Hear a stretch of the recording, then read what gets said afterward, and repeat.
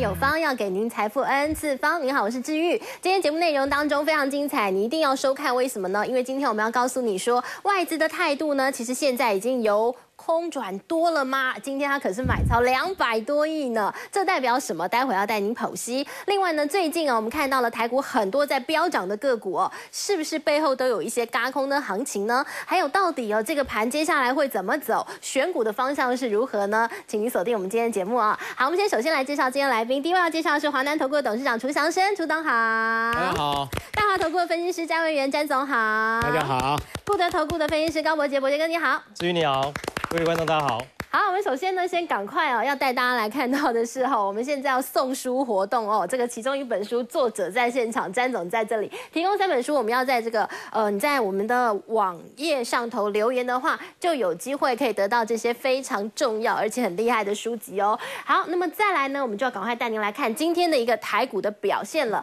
我们来看到今天的台股哦，哇，一路就是开高走高，最后收在八千两百八十六点哦，大涨涨了两百八十五点哦，今天涨幅有百分之三点五七，量的部分前两天的六百多亿的量哦，哇塞，真的是今天马上来一个千亿元以上的大量。但是呢，我们看到了在筹码面今天是非常有趣的哦，因为你来看外资。买超了两百一十四亿元，八大关股倒是卖超了四十一亿元。好，那么今天合计三大法人因为外资大买超，合计呢三大法人买超了两百六十五亿元。那么在这个外资期货的一个口数部分啊，今天又小小增加三百七十二口的多单。合计未平仓的多单量在两万四千九百一十五口。我们请一下楚董哦，楚董，我们看到这是今天的一个台股的表现。但楚董，我们先一块来看一下现在的国际的一个盘势哦。哦，今天的这个国际盘啊，来这个导播给我们看一下今天的这个国际盘，像德国哇，德股，那么英国、法国，你看现在都是有两趴以上的涨幅，德国涨了一点八四趴。另外，美国的电子盘。我们来看一下美国电子盘，你看现在电子盘也都有一趴以上的涨幅，特别是楚总今天呃，待会晚上一点钟会有这个苹果要公布它的新机发表，很重要，对对，所以呢，哎，现在这个我们的这个国际间的股市这么样的强劲哦，对于明天的台股走势你怎么看？呃，明天的台股基本上，我觉得今天涨幅比较大，对，外资大概一次把它该要补的大概补的差不多了，对，所以我觉得明天外资即使买超也不会，应该不会太多，嗯哼，那重点还在苹果新机的发表，对，对不对？因为台股有太多的所谓的瓶盖股，而且都是非常重要的蓝筹股，是，如果呃。苹果新机发表不如预期，要看苹果的股价。对，那对台股应该是有很大的一个影响。对，但是苹果的股价其实我看到昨天它的一个股价其实是正面的表现。对对，表现还不错，但是它从一百三十几跌下来，幅度也蛮蛮深的。对，而且大家直接觉得今天所谓的六 S S 的部分是小改款，对，变化不大。嗯，那这种情况之下，你很难有一个有所谓的亮点让大家掏钱去换新的机，加上。全球的股市下跌，中国大陆的股市也跌得蛮重的。大家口袋比较浅的情况之下，要要大幅度的成长，我觉得有点难。因为去年的六的部分系列是有史以来买卖的最好的 Apple 的手机，对，现在要再创造那个。会有一点难度，我觉得。对，好，所以我们就是要等着明天早上来看看的，对不对？好，那我们来看到今天，今天其实台股是一个非常精彩的表现，因为我们来看到，本来大家都以为说台股涨到这个位置点哦，这个是不是应该下来修正一下？对。结果出动，你看它今天根本就不用修正，用力往上站稳月线，而且这个季线感觉好像越来越靠近了。哦，大家可以看到这边的时候啊，两天的成交量不到七百亿啊。嗯。大家讲量是价的新兴指标，看起来行情要往下走。对。但是全球股市所谓的蝴蝶。效应，嗯，昨天中国大陆的尾盘从跌拉到涨二点九趴，对，造成这一波大涨很重要的因素，嗯，全球金融市场蝴蝶效应，是。因为这一波全球股市的股灾来自于中国大陆的人民币汇改的部分，对，加上它股价重跌，造成全球股市重跌，对，现在看起来中国大陆股市好像稍微好一点点了，所以很明显的欧美股市很明显的反应，那看到今天。很快的突破月线，而且量价齐扬，对，慢慢走季线，大概还有剩下四个 percent，对啊，我觉得应该有机会慢慢回到这边呐。季线的位置在这里，八六三五。对对，我觉得应该会有点机会。为什么？我觉得很重要一点就是在九月十八号到二十号，我们所谓一个很重要的正所税。对，看起来这次拿掉机会很大。嗯，过去正所税就像一个石头挡在路中间，嗯啊，因为走路颠簸不平，大家都不愿意进来。是，如果拿掉情况之下，至少让这个路开得很顺畅。钱我觉得陆续会回来，不代表说今天圣所会扭转全球的趋势的不会。嗯，至少让很多观望的钱，对，跑出去的钱重新回到这个市场，心理安。我觉得相对会比较有利一点，但是有点怕什么？利多出尽，如果在十八号之前股票一直涨，那真的通过的时候，你可能要稍微谨慎一点点。对对，所以这个是呃，在这个特别要注意的事情，正所对的一个变数。但是呢，我们来看外资哦，我们特别把这个下头放了一个外资的一个买卖超在这个地方哦。今天的外资买超两百一十四亿元呢，楚总这个数字应该相对来讲是外资大手笔，对不对？对对，你看上一次买超在四月份，对，股价创万年新高的时候，将近快四个月。回归以来的第一个最大的买超，对，我觉得你去看外资的期货的多单一直维持住，对，但是在现货市场大部分都维持小幅度的卖超，对，但是发觉国际股市已经开始一波明显的反弹的时候，它基本基本上今天应该是补到它一定要的量，嗯，但是我所以有讲说，也许明天嗯。不太容易有这么大的一个买超的金额，对，它可能也要稍微看一下，因为十六十七号 Fed 要开会，对，要不要升级也会影响，所以往后很重要，明天。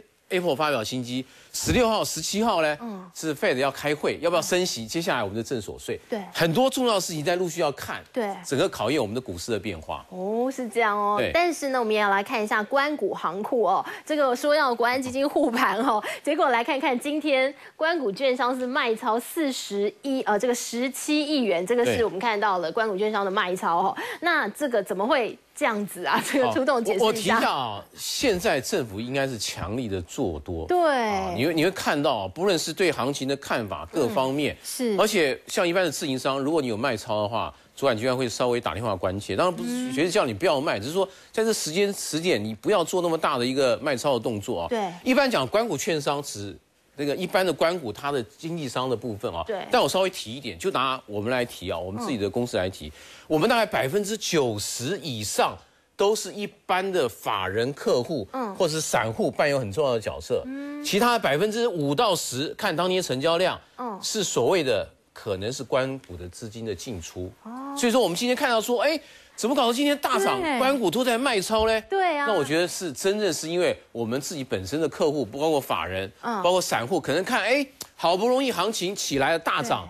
稍微做一些调节，所以我们不要这个绝对不代表官方的态度啊！大家肯定要弄错了。对我刚才一直问涂董说，怎么你看他怎么这样卖？涂董还帮这个政府讲，说他绝绝对不是，绝对不是，因为百我我提到百分之九十以上都是一般的法人客户或一般散户，官方资金可能是占的比例非常的低，所以应该不这个曾主委应该不会这个心口不一，应该不会，绝对不会，绝对不会，是不是？对，这是曾主委有打电话给你。好，那我们来看一下，我们帮今天整理这一张啊，是想要请楚董帮我们来解释的是国际间主要股市的。表现跟它现在的位阶，还有它反弹起来的速度来看，我们台股到底还有没有机会往上？好，我们看日本啊，今天是大涨，然后它已经站回年线了。我们台股呢，今天也大涨，但是呢，我们离年线大概还有九点三个百分点的乖离率哦。那我们从第一档弹起来，弹十五趴了。你用这样的一个标准来看其他国家，我们来看，其实我们距离年线是最远的。然后我们弹起来的速度呢，是最快的。对，那这代表什么？楚董，接下来我们还有空间吗？我觉得这一波很重要，就是所谓的叠升反弹，对，扮演很重要的角色。嗯，如果回头去看美国股市的三大指数，嗯，这一波跌的最深是谁？费城半导体。对，费城半导体大概也弹了将近十五个 percent，对，比刀琼斯快了将近一倍。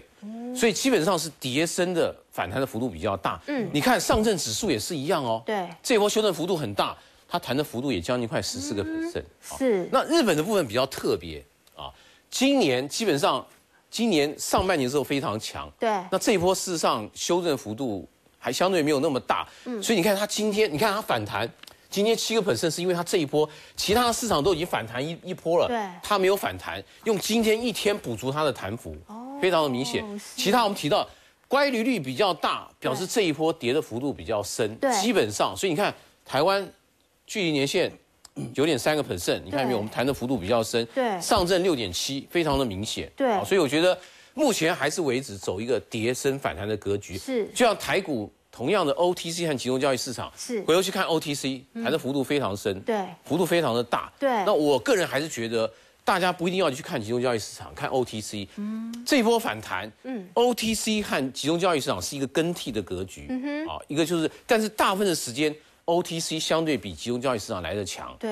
那这些 OTC 的股票，中小型股票跌的实在太深了，有些跌到了不合理的价位。对。所以在这一波反弹当中，它扮演一个很重要的领先的指标，冲锋陷阵的角色。就是。所以我觉得大家很重要的关系一下，看 OTC 的强势部分。对，所以它只要维持强势，大盘。应该还是维持一个多头的，就会没问题。对对对。对，好，那楚董，我们再来看一下外资的态度，就如同刚刚这个楚董跟我们这个稍微解释之前的状况是，呃，外资的多单口数 hold 在那个地方，但是它现货一直卖，没有，对对对，每天一直小幅卖超，小幅卖超，没有卖很多，就二十几亿、十几亿这样每天卖，但是今天不太一样了，特别之前我们还看到曾主委去关切说，哎，你外资你马帮帮忙，你借 券卖出也太多了吧，哪有这一种全部券借光？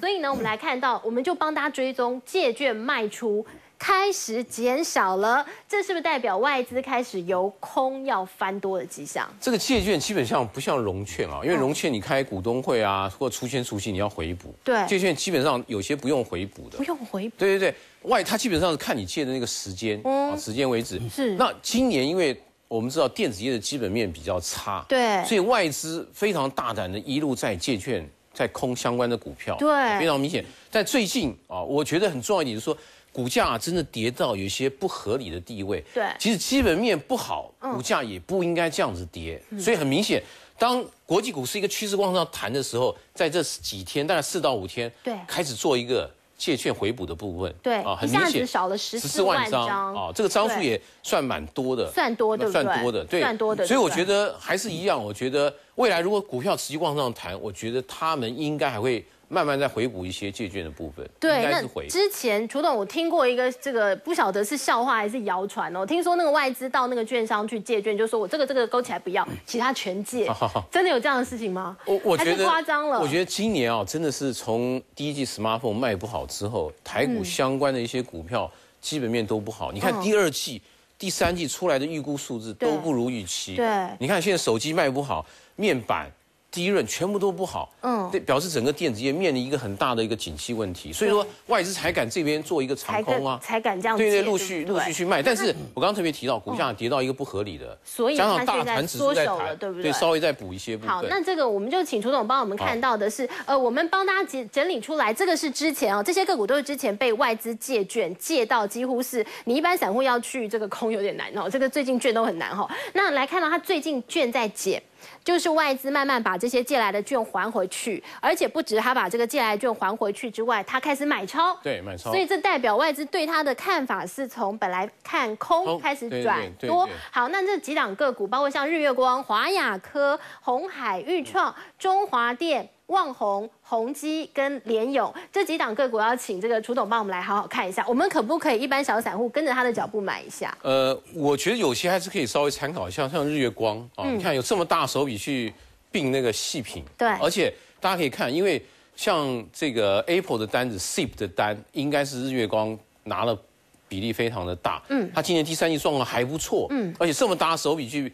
去并是细品，我觉得它基本面应该还是不错的一家公司。今天直接拉涨停板，非常的强。而且它的这个直接拉涨停板，对，非常明显。你看这底做的非常好，你知道？而且我觉得今天不管它有没有并到细品那一块，对，我觉得它在 SIP 这一端的投资是目前所有封装的厂当中最好的，最好的。好，这是月光。那其他的部分还有推？其他部分我觉得基本面华亚科啊，今年大家看到八月底的时候，低润稍微止跌了，为了反弹了，但是它的长线可能还有一些隐忧。长线对对，你看 PC 哦状况不好，手机状况不好，对它可能明年低润价格不会太好。华亚科，我觉得它是跌得很深，稍微做一个反。它弹的应该最快，对对对，弹的已经站回。跌得很深，你没有看到？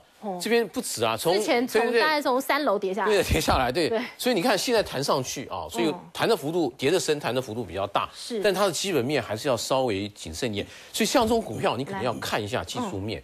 一旦量放的非常的大，嗯。或者说，比如说买超开始在减少的时候，你可能要稍微注意一下。OK，好，这种就看一下技术面。华亚科，对，那红海嘞，红海，我想它基本面还是非常好。今年十块钱，嗯，我觉得呃，如果 Apple 稍微好卖的不错的话，我觉得红海股价应该会更上一层楼。OK，好，那在这个部分，我们来看宏基最近的股价也表现。我觉得宏基，哦，它的净值我记得在二十块钱，二十几块钱啊、我觉得事实上宏基上半年没有赚钱，我觉得 PC notebook 状况不好，对它是一个很大的一个一个影响了对。我觉得它的部分会比较辛苦一点点，它唯一就是股价跌得够深，是离净值还有一段距离，但是基本面要改。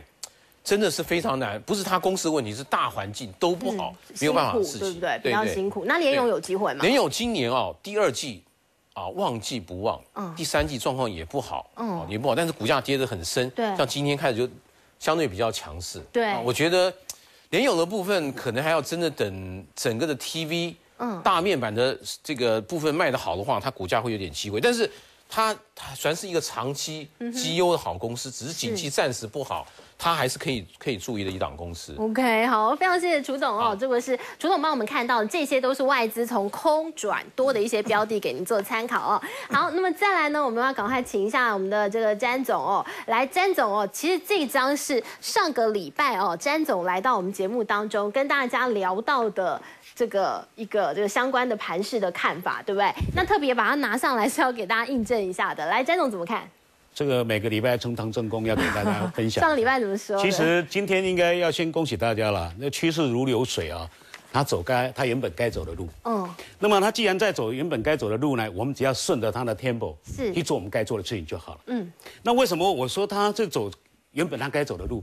其实我上次有讲说，这个只只是回档，不是回跌嘛。嗯，好，这中期的反弹波不可能这样就结束嘛。对它只是一个小 B 波修正之后，然后呢，让你有足够的时间去挑肥拣瘦。嗯，特别我也提醒到说，这个 OTC 这个部分扎完中多之后开始嘎短空，嗯它会逐步的震荡走高，嗯然后呢，顺势整理再喷出，对不对？我现场还画图给大家看。有，那么所以说，现今天喷出了，恭喜大家，它是走原本它该走的路。嗯，但这个话再说回来，哎，我们来看我们今天给大家的分析稿，每个礼拜有每个礼拜新的状况啊。。对，那么我今天的看法跟心情是这样，这是我的看法。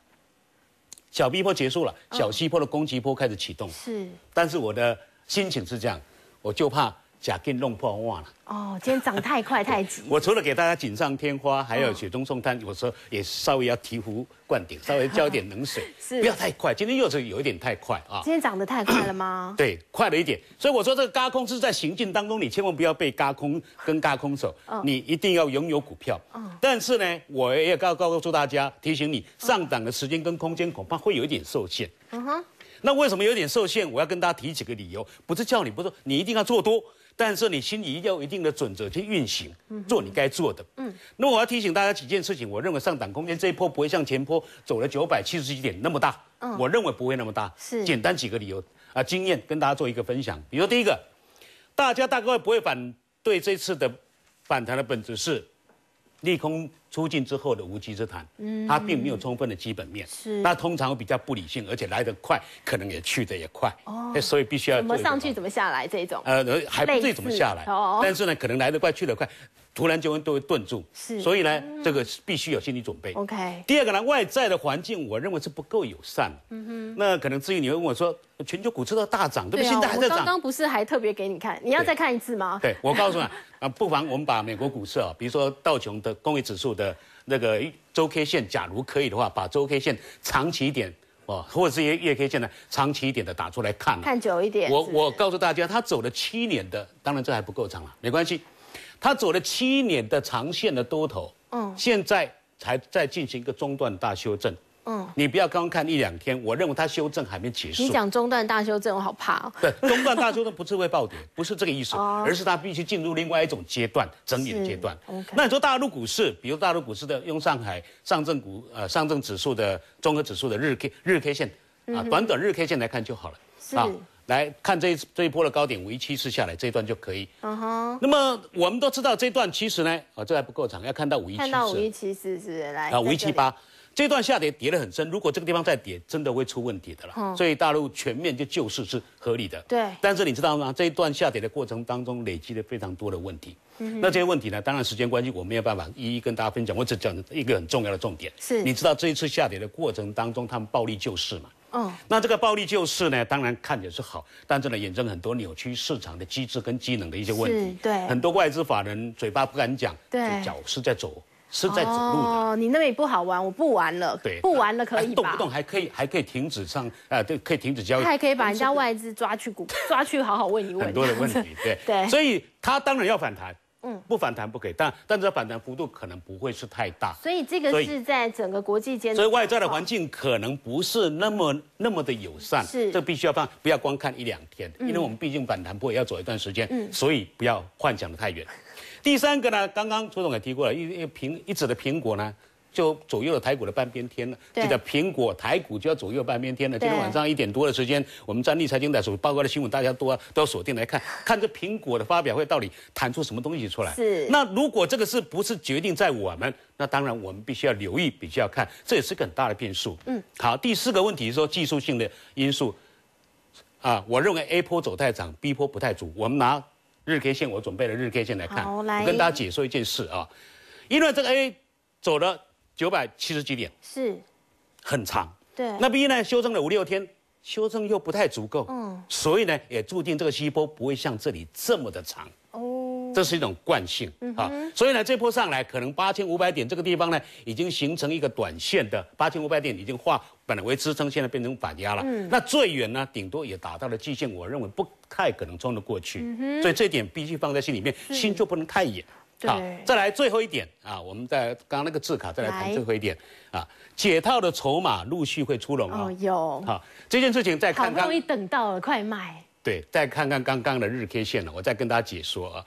上次这样跌下来，我有跟自己开玩笑说：“你看会不会弹起来？”我说：“好像一颗皮球用力打下去，会不会弹起来？”你说有没有气？我认 为还蛮有气的。为什么会蛮有气呢？因为这段跌下来，这没有套牢啊，轻舟过万重山了，一下子破底翻了。但是呢，你这里没有套牢，因为这里全部直接断断头，对，对不对？筹码干净了，所以上来没有什么，很快。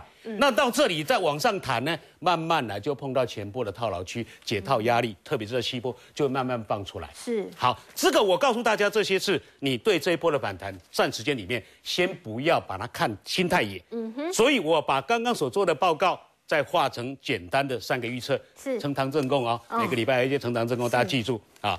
我认为这一波的反弹呢，大概有五到八天的攻击周期。嗯哼，大概走五到八八个八天的攻击周期。嗯，那这五到八天的攻击周期为什么这么说？我们再看一下日 K 线，我再跟大家报告一下啊。因为这里走五，这里走五六左右。嗯，那么这里的级数呢，大概是五到八天。嗯，那么前半段呢，这。前半段两到三天里面都是大停大型股的天下，因为它要指数要推上去，量要出来嘛。对对，都一定走大型股。对，那接下来可能后面几天，对，后面几天可能就要换小型股了。哦，这是我第一个推测。对不对？第二个，那第二个推测呢？因为这里既然你把它界定是一个西坡，西坡有一个充分特色，就是补涨股的天下。对，之前比较没有涨到的，只要条件够了，这里有资格。做一个补涨，所以你要尽量能够寻找一些还没有涨还能涨的股票来作为补涨。我认为这一点也是蛮重要。是。第三个，第第三个预测呢，OTC 我要特别提一下啊。来，这个 OTC，这个上次所说的话，说杀完中空之中多之后，开始要嘎短空。嗯。它是一个以盘带跌顺势整理型为。我往上这样一勾，那么至于很高兴说，哎，这样最好了。我说如果真的是这样的时候就要卖了。那现在确实它是在走这样顺势整理型，也开始要走出末端的高空。那所以在 OTC 里面，我认为特别会涨的股票会比在集中市场多了一些。特别之前跌的真的太深的，刚刚楚董也提醒到，委屈了它这个部分的个股。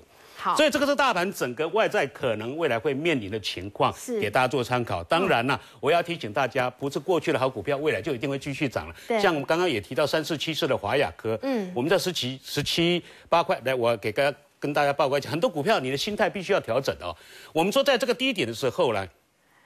啊，华雅哥啊，三十七岁华雅哥，在这个低点的时候，很多人的勇气跟杀气用错地方。嗯，我说那个地方融券那么多，好了，走这么一段，大家都要提了。问题是过了过了季线，这条是季线的，季线扣底这里它还是向下。嗯，那这个地方开始传出的都是利多。嗯，在这一个两三个礼拜里面，它基本面有没有任何改变？